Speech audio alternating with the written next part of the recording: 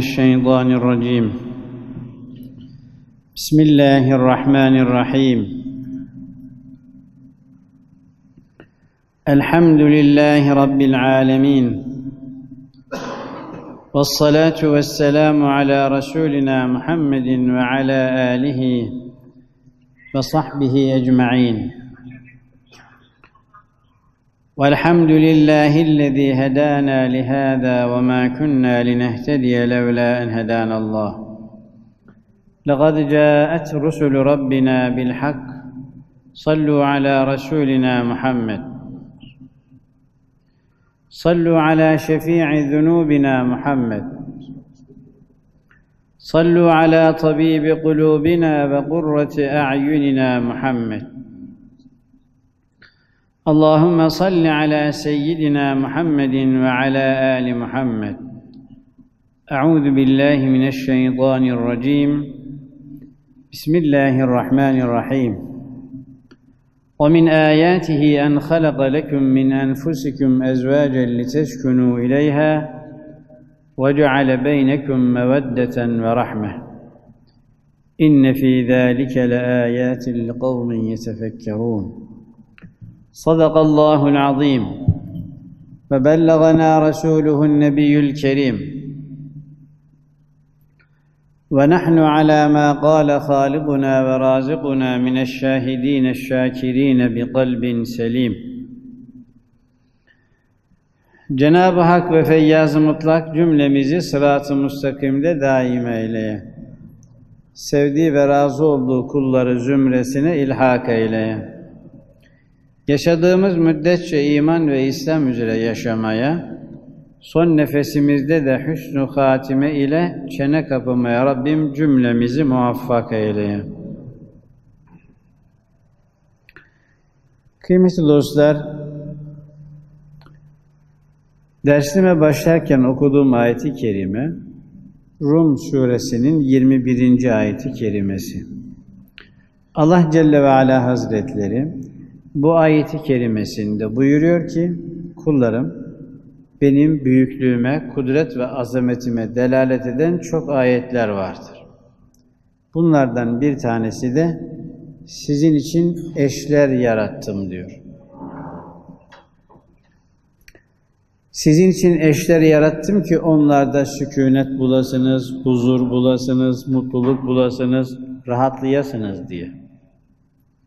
Yani Allah Celle ve Ala Hazretleri erkeğe erkeklik özelliklerini ve ihtiyaçlarını vermiş, kadını da kadın özellikleriyle ve ihtiyaçlarıyla yaratmış.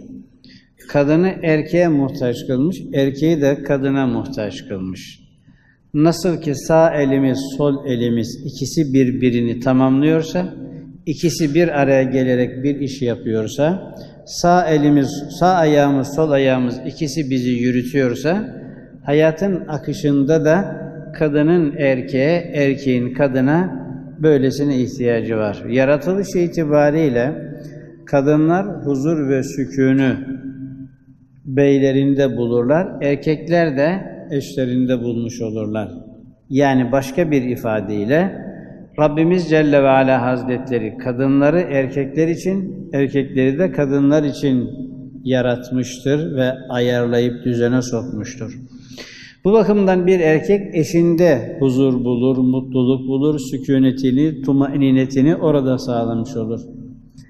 وَجَعَلَ بَيْنَكُمْ مَوَدَّةً وَرَحْمَةً Allah Celle Celaluhu eşlerinizle sizin aranızda bir sevgi, bir de merhamet yerleştirmiştir buyuruyor.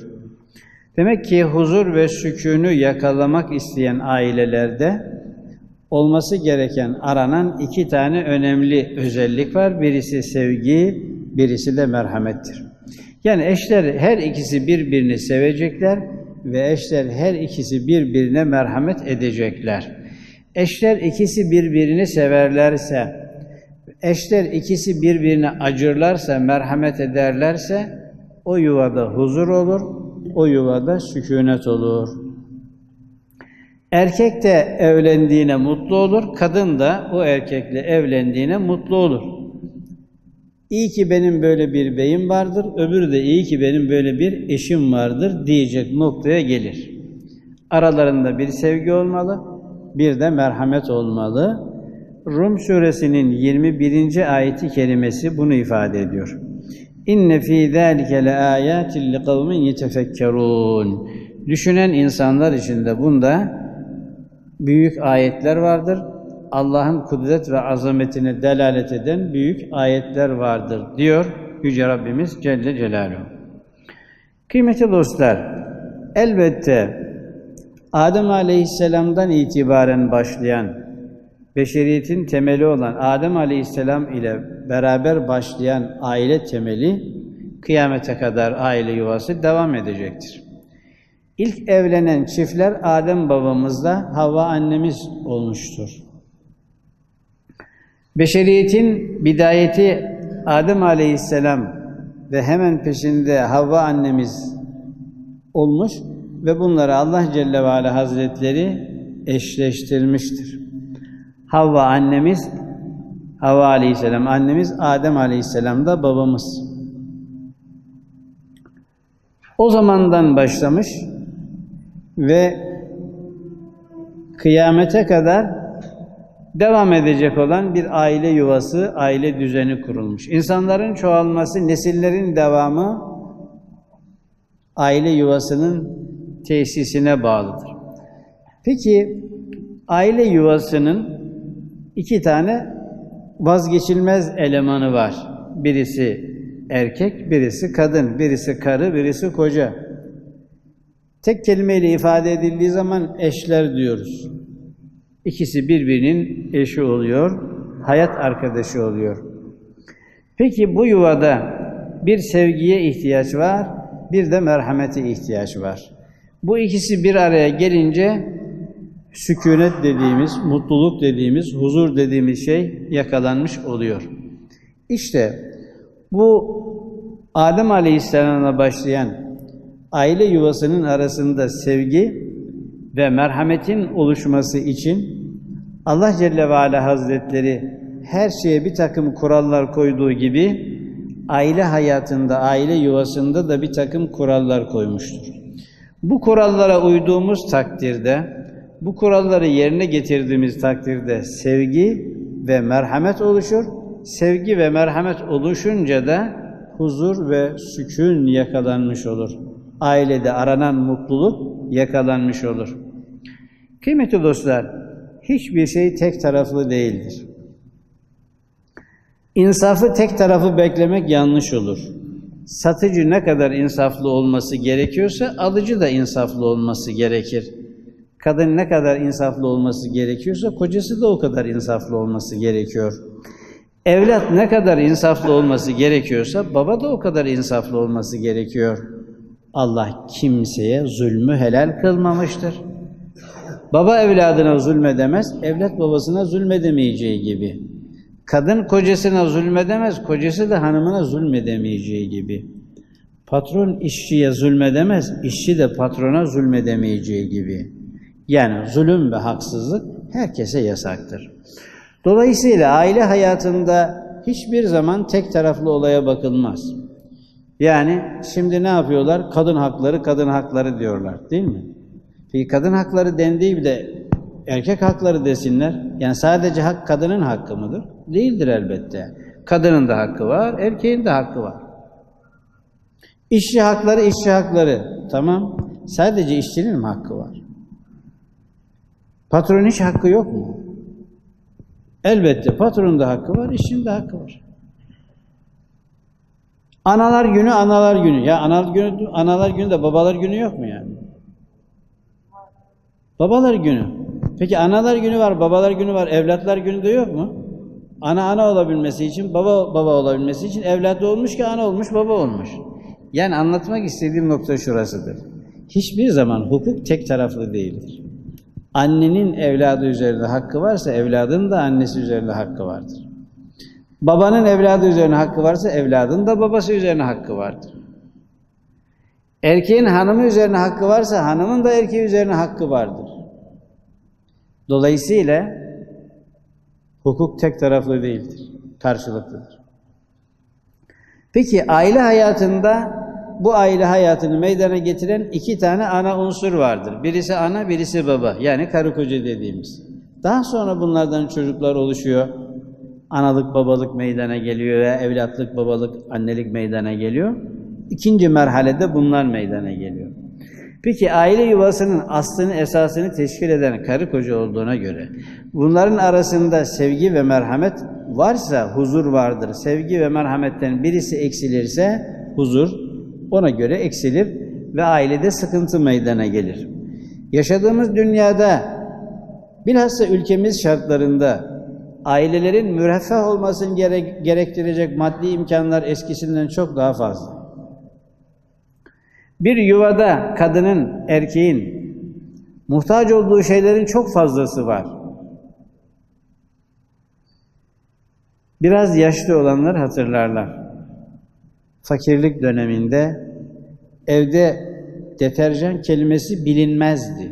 Bir tane sabun vardı. Beyaz sabun, başka sabun yoktu. Onu da bulamayanlar kül ile temizlik yaparlardı köylerde. Şimdi markete gidip alışveriş veriş yapacağınız zaman evden liste aldıysanız en azından deterjanlarla ilgili bölümde 5-6 tane madde vardır. En pahalı da onlar tutuyor.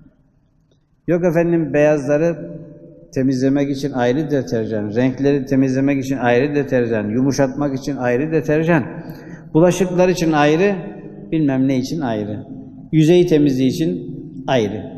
Yani eskiden bir çeşit sabun vardı. Hacı Şakir diyorlardı. Onu da bulamayanlar neyle temizlik yapıyordu? Kül ile temizlik yapıyorlardı. Tokmak ile beraber dere kenarında çamaşırlara vura vura temizlerlerdi. Şimdi o tokmak ile dere kenarında çamaşır temizleyen kadın kocasıyla mutlu yaşıyordu. O fakirlikte üç tane, dört tane, beş tane, altı tane çocuğu gül gibi yetiştiriyordu. Hiç de şikayetçi değildi.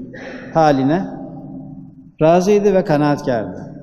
Şimdi çamaşırı makine yıkar, bulaşığı makine yıkar, evi süpürge süpürür.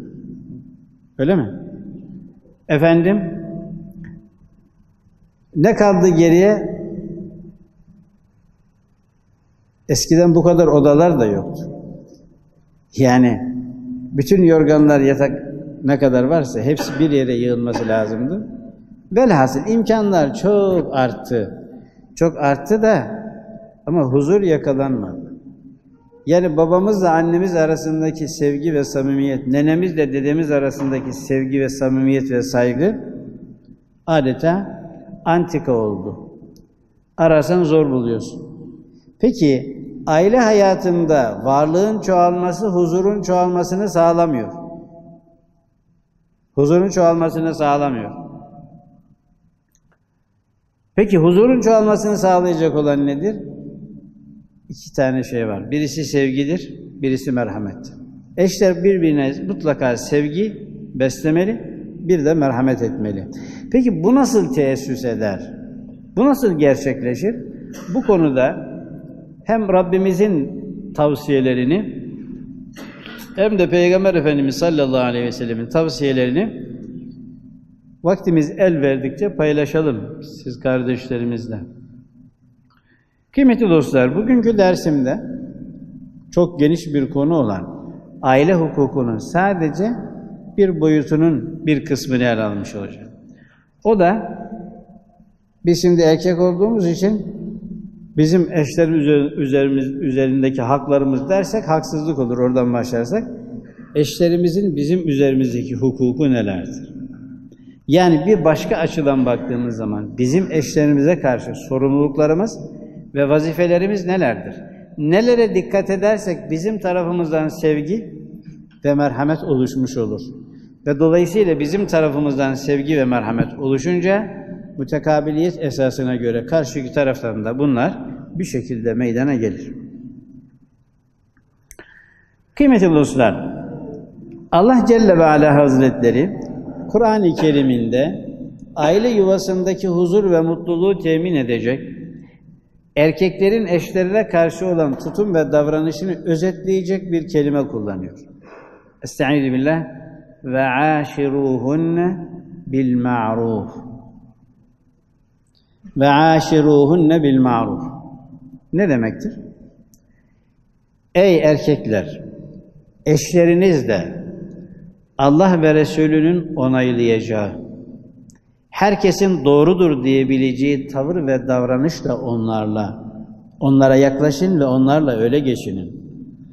Kılıcının önü de arkası da kesen bir tavırla, var mı bana yan bakan tavrıyla eşlerinize yaklaşmayın. Akıllı, mantıklı, herkesin uygun göreceği, herkesin tasvip edeceği, onaylayacağı insani tavır ve davranışlarla eşlerinizde geçinin ve aşiruhunne bil ma'ruf. Hemen ayeti kerimenin devamı da bir noktada bize hatırlatma yapıyor. Fe in kerihtumuhunne şey'en. Mümkündür ki siz eşlerinizde hoş olmayan bir şey görürsünüz, canınızı sıkan bir şey görürsünüz. Fe asa en tekrehu şey'en ve yec'alallahu fihi hayran kesira. Mümkündür ki siz eşlerinizde bir şey hoşunuza gitmez, bir tavır ve davranışı hoşunuza gitmez. Ama mümkündür ki Allah o sizin hoşunuza gitmeyen şeyde çok hayır koymuş olabilir. Siz bilemezsiniz hayır nerededir diye. Yani kıymetli dostlar, eşlerimizle asker komutan ilişkisiyle, patron işçi, işçi ilişkisiyle geçinmememiz gerektiğini, eşler arasında bir samimi atmosferin olması gerektiğini, tavır ve davranışlarımızın bizim hobilerimizi tatmin etmesi açısından değil, herkesin kabul edebileceği insani ölçüler içerisinde olması gerektiğini Rabbimiz haber veriyor. Nisa suresinin 19. ayeti kerimesinde. Kıymetli dostlar, Peygamber Efendimiz sallallahu aleyhi ve sellem veda hutbesinde buyuruyor ki cihana bir mesaj vermişti. Veda hutbesi çok önemli bir hutbedir. O hutbenin içerisinde adeta İslam'ın ana yasasını özetlemiştir. Bir maddesinde de şunu söylemiştir. Ey insanlar! Allah Celle Celaluhu kadınları sizin aranıza ve sizin idarenize, sizin himayenize vermiştir. Kadınlarla ilgili, ben size hayrı tavsiye ediyorum, tavsiyemi tutun demiştir. Bir başka hadisi şeriflerinde Allah'ın emriyle aldınız ve Allah'ın emriyle kendinize helal kıldınız. Öyleyse Allah'ın elinizdeki bu emanetlerini koruyun. Onlarla ilgili size hayır tavsiye ediyorum. Hayırlı davranmanızı, hayır ile yaklaşmanızı tavsiye ediyorum. Tavsiyemi tutun buyurmuştur aleyhissalatü vesselam Efendimiz. Kıymetli dostlar, demek ki eşler arasında kadının kocası üzerindeki haklarını konuşacak olursak, erkek eşiyle beraber maruf bir şekilde yaşayıp hayatını sürdürmesi lazım. Ne demek maruf bir şekilde? Yani Allah ve Resulünün onayladığı, toplumun, insanların, etrafımızdakilerin doğrudur diyebildiği, herkeste hüsnü kabul gören yaklaşım tarzı ile yaklaşmak lazımdır. Yani asan kesen, ben ne dersem o olur diyen bir anlayışla değil. Bir de kıymetli dostlar,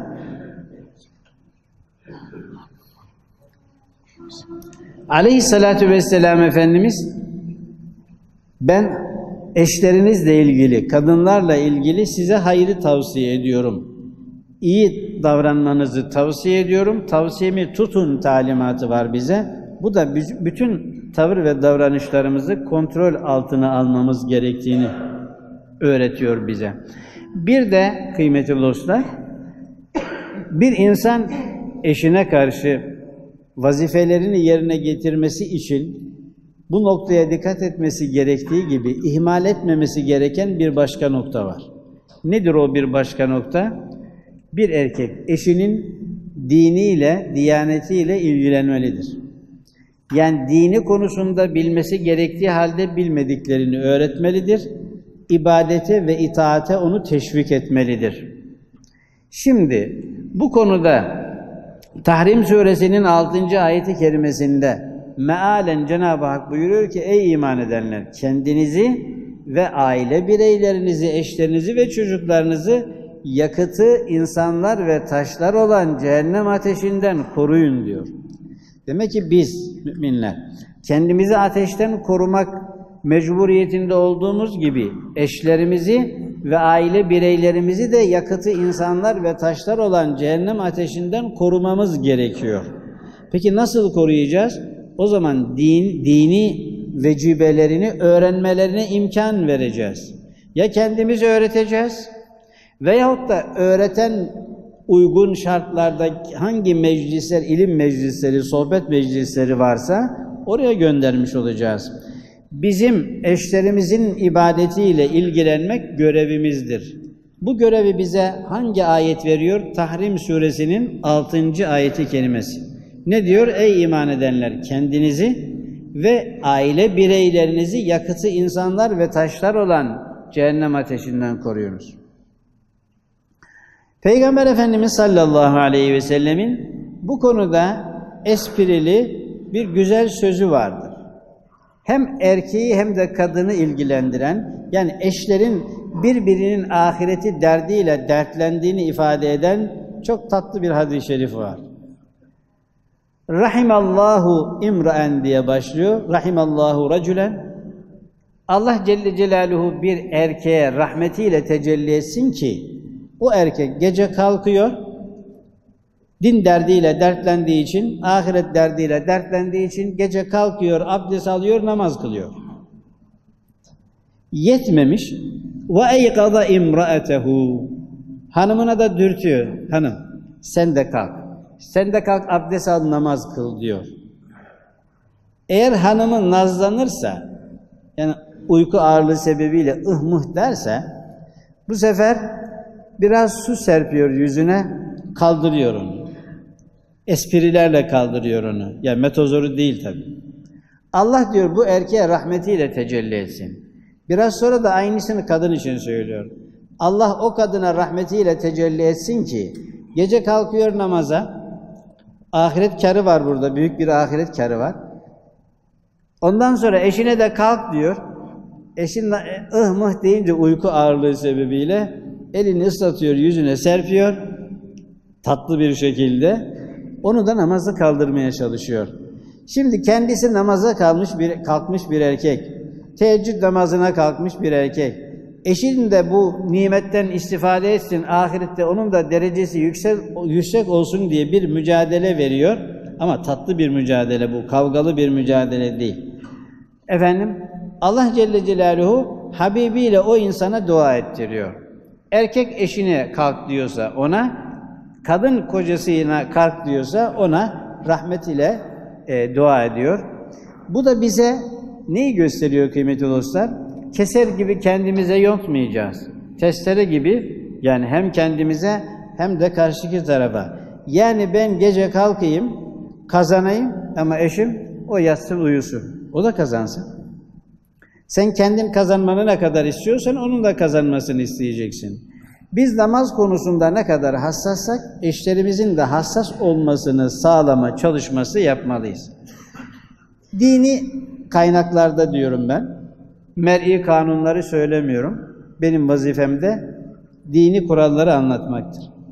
Dini kriterlerde bir erkeğin kadını, hanımını boşamasına hak verecek sebeplerden bir tanesi de namaz konusunda bütün hassasiyetleri gösterdiği halde, elinden gelen bütün imkanları sarf ettiği halde kadın namaz kılmamaya direniyorsa farz namazdır yalnız. Farz namazları kılmamaya direniyorsa İslam dini bu erkeğe istersen bu eşinden boşanabilirsin der. Yani boşanma hakkındır der. Ben namazsız bir kadınla hayat sürdürmek istemem namazsız bir kadın çocuklarıma annelik yapmasını istemem deme hakkına dinen bir erkek sahiptir. Tabi burada mektubu doğru okumak lazım. o kadının namazsız olan o kadının namaza alışabilmesi ve namazı sevebilmesi için elimizden gelen bütün çalışmaları yapacağız. Her şeye rağmen direnirse böyle bir hak erkek için doğar. Şimdi tekrar işi toparlamaya dönüyorum. Bir kadının kocası üzerine olan haklarından birincisi erkek eşiyle beraber adam gibi geçinecek. Maruf bir şekilde geçinecek. Asarım, keserim havalarıyla geçinmeyecek. Onun da bir insan olduğunu, onun da bir can taşıdığını, onun da üzüldüğünü, onun da yorulduğunu, onun da hasta olduğunu, onun da canının bir şeyler istediğini, onun da insan yerine konmak istediğini bilmesi lazım. Maruf bir şekilde. Şöyle bir şey söyleyeyim size kardeşler.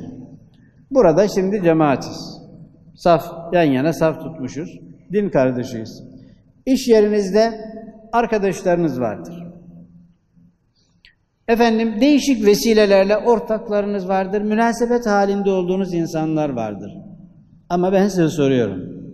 Hayatınızın tamamını düşünürseniz eşinizden daha yakın kim var size? Ortağınız mı? Hayır. Komşunuz mu? Hayır. Ananız babanız mı? Ona da hayır diyeceğim. Eşin kadar sana yakın bir başkası yoktur. Hayatının büyük bir kısmını da onunla beraber geçiriyorsun. Gece hayatın yarısı oluyor neredeyse.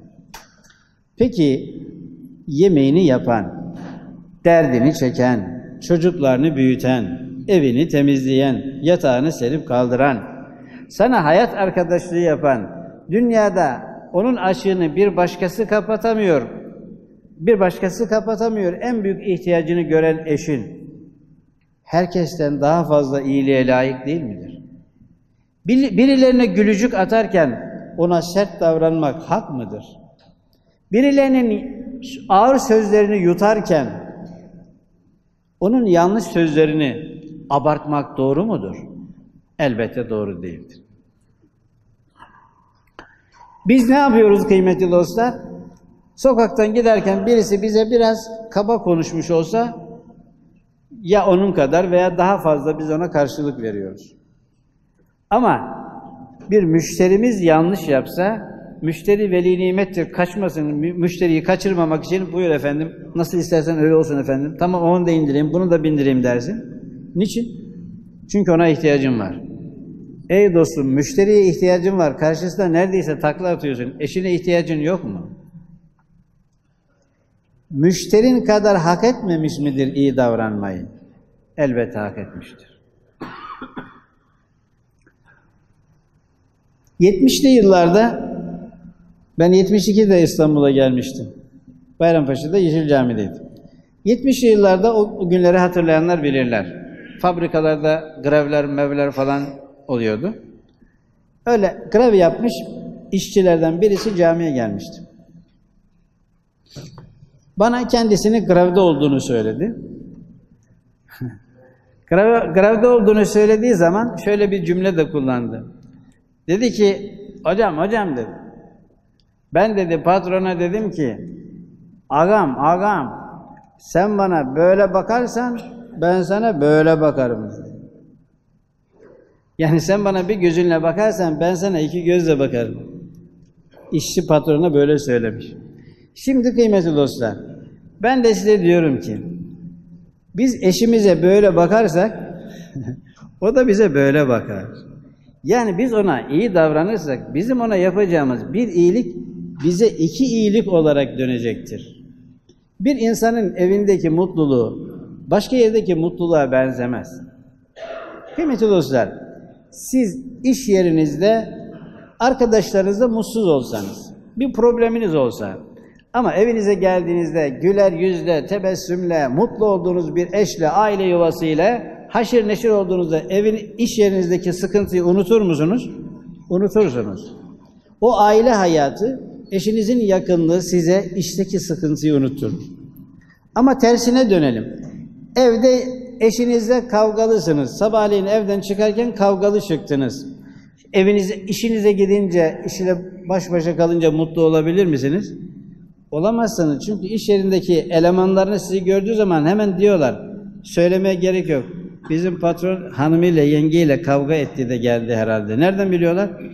Çünkü suratından okuyorlar. Dokuzu çeyrek geçiyor. Surat dokuzu çeyrek geçiyor. Tavır ve davranışlar farklı. Yani özetle şunu söylüyorum. Dışarıdaki huzursuzluk, huzurlu ve mutlu bir yuvaya gidince kaybolabiliyor.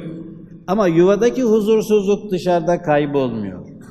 Onun için insan her yerde mutlu olmalı ama bilhassa evinde mutluluğu yakalamalıdır. Bu mutluluğu yakalamak için eşim bana karşı neler yapmalıdır düşünecek yerde ben eşime karşı neler yapmalıyım, vazifelerim nelerdir bu açıdan bakmak lazım. O kendisi açısından ben neler yapmalıyım diyecek ama biz de kendi açımızdan neler yapacağız bunu düşünmeliyiz.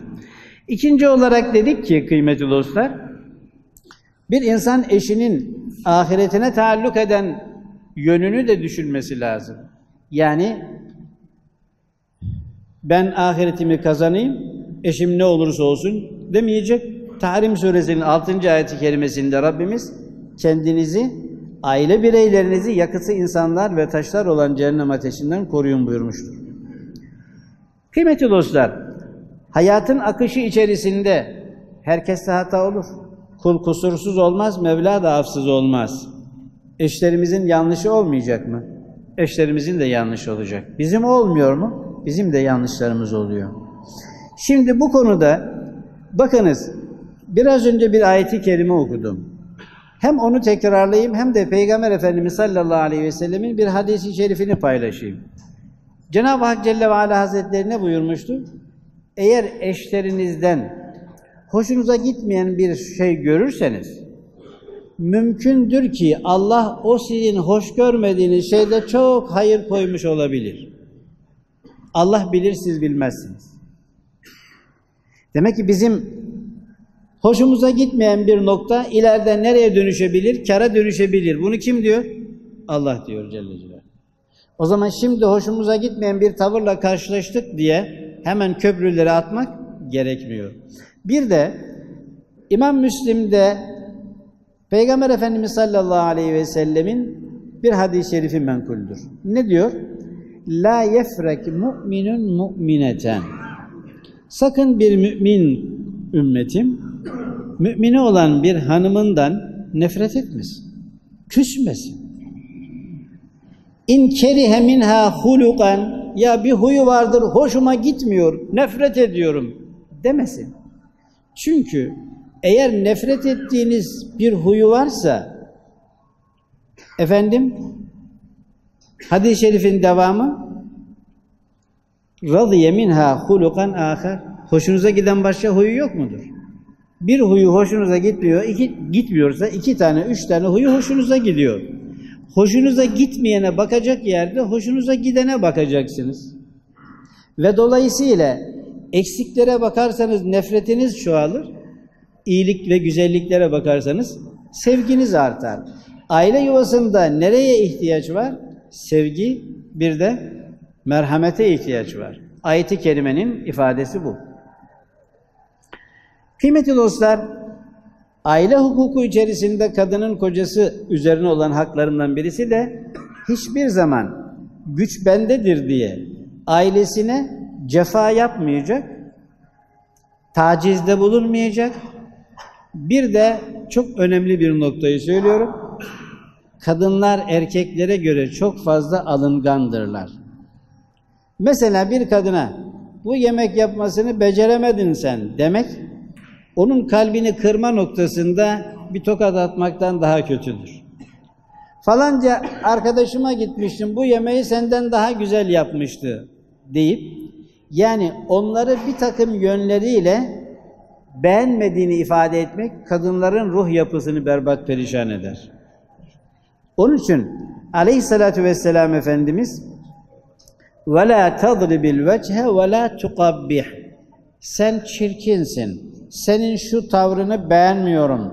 Beceremiyorsun. Başkası daha iyidir şeklinde kadınlara ifadede bulunmanın doğru olmadığını, aile hayatındaki ilişkileri, sevgiyi ve merhameti tarumar edeceğini Efendimiz sallallahu aleyhi ve sellem haber vermektedir.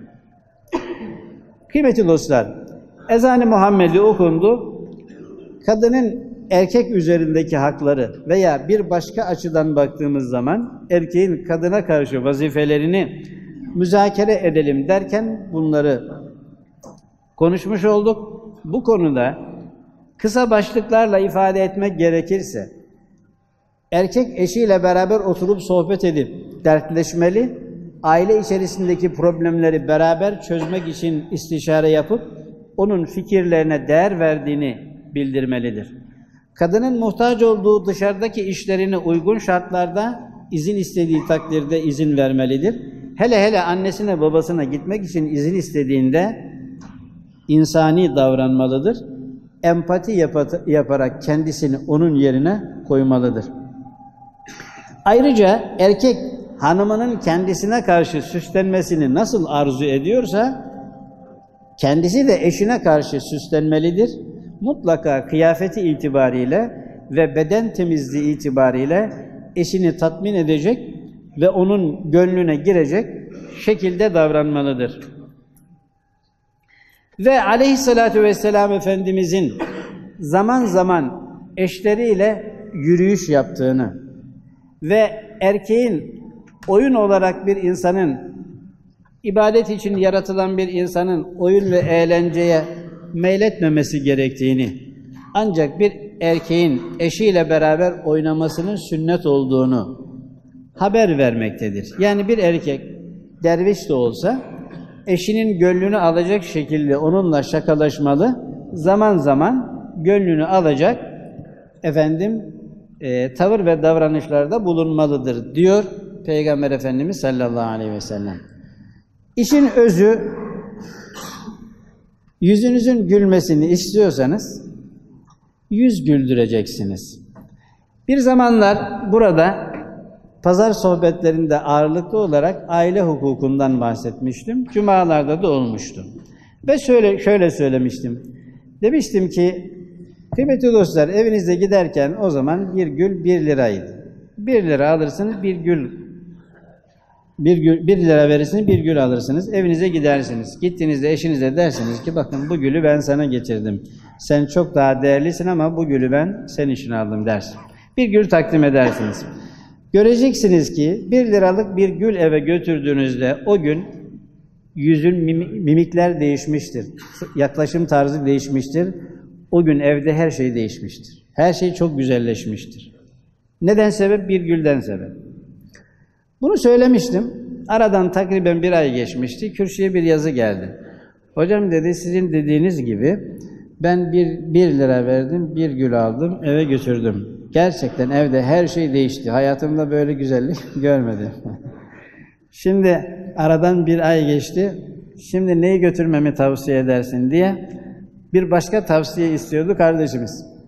Demek ki e, yüzüne karşı gülünmesini istiyorsa sen de güleceksin. Tebessüm edilmesini istiyorsan tebessüm edeceksin. İlgi istiyorsan ilgi göstereceksin.